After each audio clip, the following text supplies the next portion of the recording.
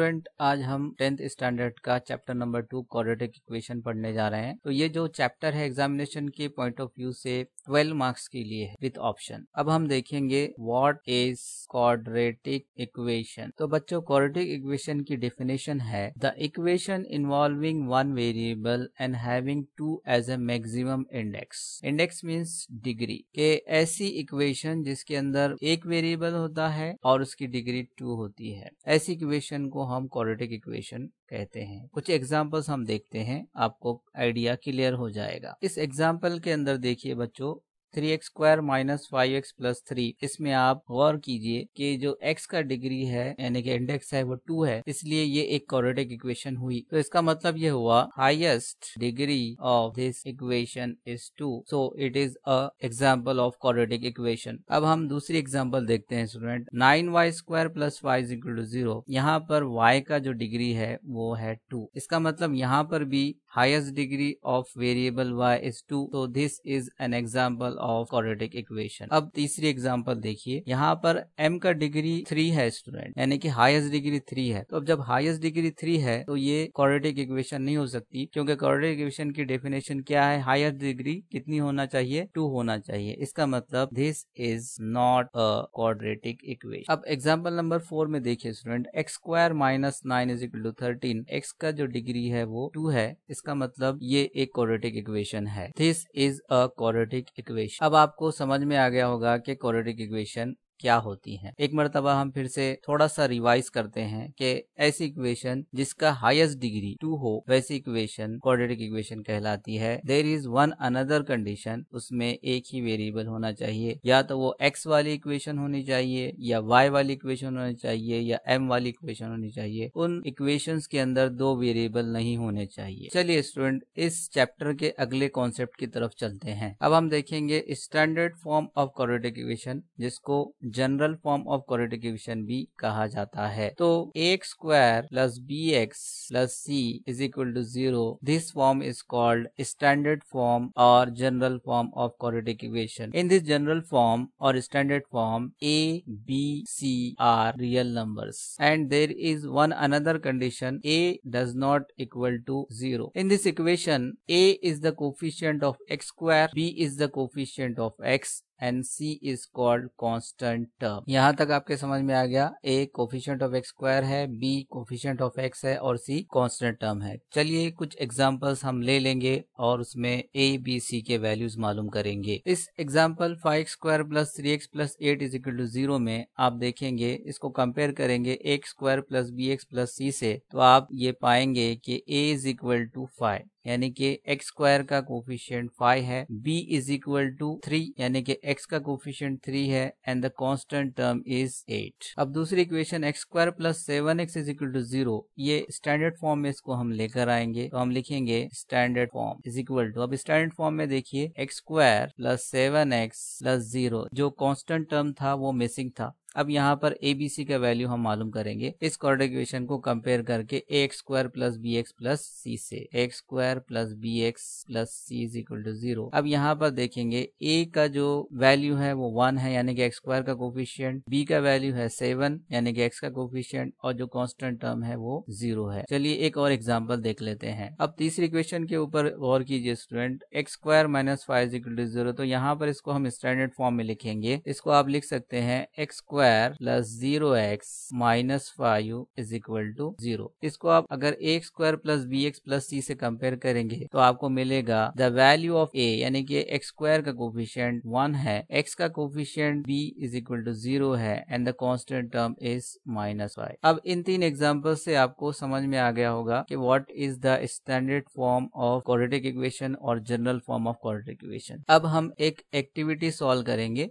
जिससे आपको ये कॉन्सेप्ट और क्लियर हो जाएगा। एक एक्टिविटी है student complete the following table एक सॉल्ट एग्जांपल दी गई है जनरल फॉर्म दिया गया है ए बी सी के वैल्यूज़ दिए गए हैं। ये सेकंड और थर्ड एग्जांपल हमें करनी है। Y square is equal to two y minus seven तो इसको हम स्टैंडर्ड फॉर्म में लाएँगे। तो सब में पहले मैं लिखूँगा वाई स्क्वायर इस टू वाई को इक्वल टू साइन के लेफ़्ट हैंड साइड लाएँगे। ये हो जाएगा माइनस टू वाई इस माइनस सेवन को इक्वल टू साइन के लेफ़्ट हैंड साइड लाएँगे। Minus seven will become plus seven is equal to zero अब देखेंगे ए बी सी के वैल्यूज़ क्या है। ए यानी कि वाई स्क्वायर का कोफिशियंट वन है बी यानी वाई का कोफिशियंट माइनस टू है सी यानी के कॉन्स्टेंट टर्म सेवन है। चलिए तीसरी एग्ज़ाम्पल पर आते हैं। X square plus two x is equal to zero इसको जनरल फॉर्म में लिखेंगे। तो हम इसको इस तरीके से लिखेंगे। X square plus two x plus zero यानी कि कॉन्स्टेंट टर्म मिसिंग है, इस वजह से वहाँ पर हमने लिखे ज़ीरो अब इसको हम कंपेयर करेंगे a x square plus b x plus c. से तो ए का वैल्यू यानी कि एक्स स्क्वायर का कोफिशियंट वन है बी का वैल्यू एक्स का कोफिशियंट टू है और कॉन्स्टेंट टर्म है zero we hope that you have understood by this activity the general form and the values of a b c let's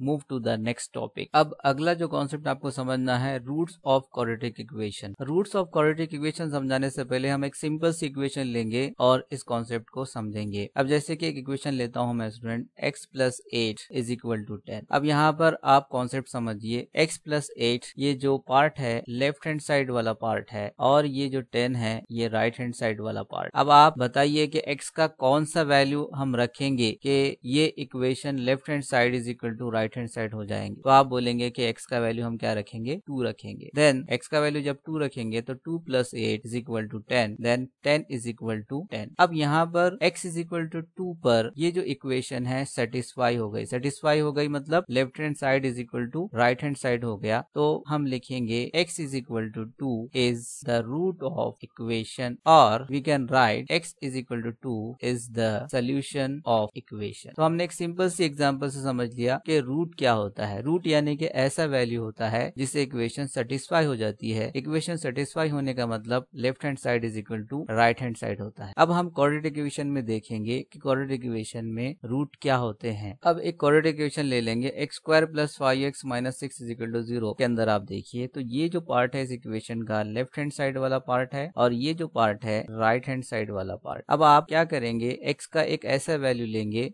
जिससे left hand side is equal to right hand side हो जाएगा। तो मैं क्या करूँगा? Left hand side वाला part सब में पहले लूँगा। X square plus five x minus six अब हम एक्स का एक ऐसा वैल्यू रखेंगे जिससे हमें राइट हैंड साइड वाला आंसर मिले। तो मैं x is equal to minus six रखता हूँ। देन माइनस सिक्स का square plus five into minus six minus then minus six का स्क्वायर आप करेंगे तो आपको मिलेगा thirty six plus five into minus six आपको मिलेगा माइनस थर्टी और ये minus six as it is तो ये हो जाएगा 36 six minus thirty six then you will get zero अब देखिए ज़ीरो जो आपको आंसर मिल गया है this is our right hand side तो आप लिख सकते हैं, x is equal to minus six is one root of quadratic equation या फिर आप लिख सकते हैं, x is equal to minus six is one solution of quadratic equation अब यहाँ पर मैंने वन इस वर्ड का यूज़ किया हूँ। तो इस वजह से किया हूँ कि हर क्वाड्रेटिक इक्वेशन के दो सोल्यूशन होते हैं।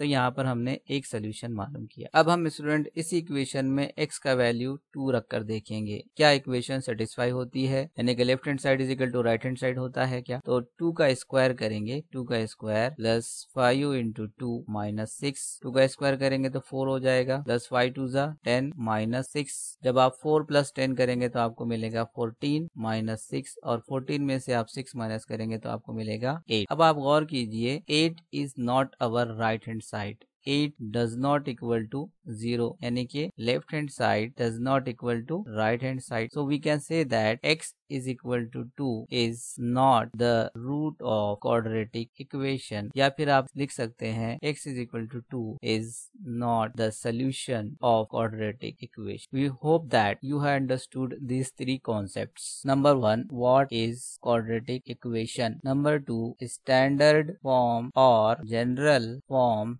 of quadratic equation number three roots of quadratic equation students देखिए हम बहुत ज़्यादा कोशिश कर रहे हैं कि आपको बहुत ही आसान अंदाज के अंदर जो भी कॉन्सेप्ट है, वो आपको समझाने की कोशिश कर रहे हैं। तो हमारी मेहनतों को आप सराइए यानी कि इस वीडियो को आप लाइक कीजिए ताकि हमें और मोटिवेशन मिले और वीडियोस बनाने के लिए। अगर आप हमारे चैनल पर नए हैं तो हमारे चैनल को सब्सक्राइब कीजिए और ज़्यादा से ज़्यादा स्टूडेंट तक इसको शेयर कीजिए ताकि ज़्यादा से ज़्यादा स्टूडेंट को इसका फ़ायदा हो। Thank you for watching our videos